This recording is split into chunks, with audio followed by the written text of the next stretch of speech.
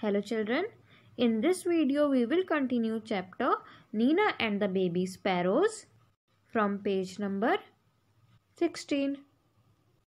इससे पहले वाली वीडियो में हमने पढ़ा कि जो नीना थी वो शादी में नहीं जाना चाहती थी। जब मम्मा उसको शॉपिंग कराने लेके गई तो वो हर चीज़ के लिए मना कर रही थी कि उसे ड्रेस भी नहीं चाहिए उसे शूज़ भी नहीं चाहिए। और जब मम्मा ने पूछा कि वो ऐसा क्यों कर रही है तो उसने बोला कि वो शादी में नहीं जाना चाहती। अब मम्मा बोलती हैं बट वाई जो उसकी मम्मा है, उसकी मम्मा उससे पूछती है बट वाई लेकिन क्यों? क्यों तुम्हें शादी में नहीं जाना? नीना सेड नथिंग नीना कुछ नहीं बोलती। Instead two big tears roll down her cheeks कुछ बो, और कुछ बोलने की बजाय वो रोने लगती है और दो बड़े बड़े आँसू उसके गाल पर आ जाते हैं। टीयर्स का मतलब होता है आँसू। Mother put her arms around Nina don't cry my pet she said why don't you tell me what's bothering you फिर उसकी मम्मी जो होती है, वो नीना से कहती है कि, बेटा, रो मत। और मुझे बताओ कि ऐसी क्या चीज़ है जो तुम्हें परेशान कर रही है? बॉदर का मतलब परेशान करना। More tears roll down Nina's cheeks Nina और ज़्यादा रोने लगती है।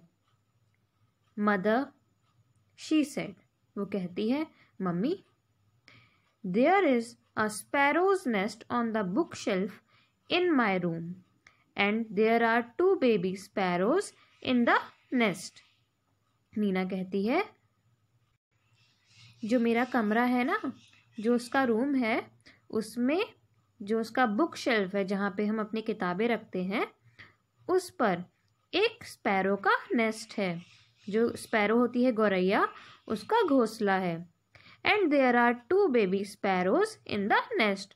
और उस घोंसले में दो बेबी स्पैरोज हैं छोटी छोटी बेबी स्पैरोज। आपको यहाँ पिक्चर में दिख रही होगी ना बच्चों? देखो बच्चों, यहाँ पे आपको दिख रहे हैं छोटे छोटे बेबी स्पैरोज ये वही बेबी स्पैरोज है जिनकी बात नीना कर रही थी। आई सी सेड मदर तो मम्मी कहती है वो अच्छा अब मुझे समझ आया। They are just beginning to get their feathers and growing up makes them so hungry all day long they cry cheep cheep asking for food फिर वो कहती है कि जो बेबी स्पैरोज है ना, वो बड़े हो रहे हैं। And they are just beginning to get their feathers और उनके अभी अभी फेदर्स आने शुरू हुए हैं। And growing up makes them so hungry और क्योंकि वो बड़े हो रहे हैं तो इस वजह से उन्हें बहुत भूख लगती है और वो पूरे दिन खाना मांगते रहते हैं।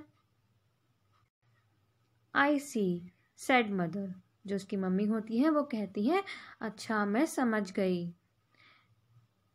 If we go the whole place will be locked and how will papa and mamma sparrows feed their babies फिर नीना कहती है इफ़ वी गो अगर हम चले जाएँगे the whole place will be locked तो जो पूरा घर है ना हमारा, वो तो बंद हो जाएगा।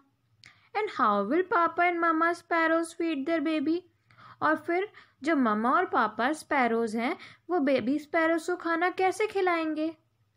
तो बच्चों, अब आपको समझ आया कि जो नीना थी वो क्यों रो रही थी और क्यों वो शादी में नहीं जाना चाहती थी? क्योंकि उसे किसकी चिंता हो रही थी? उसे बेबी स्पैरोज की चिंता हो रही थी कि वो उन्हें खाना कैसे मिलेगा? अब नीना की मम्मी इस बात का क्या सॉल्यूशन निकालेंगी, यह हम इस वीडियो के नेक्स्ट पार्ट में पढ़ेंगे।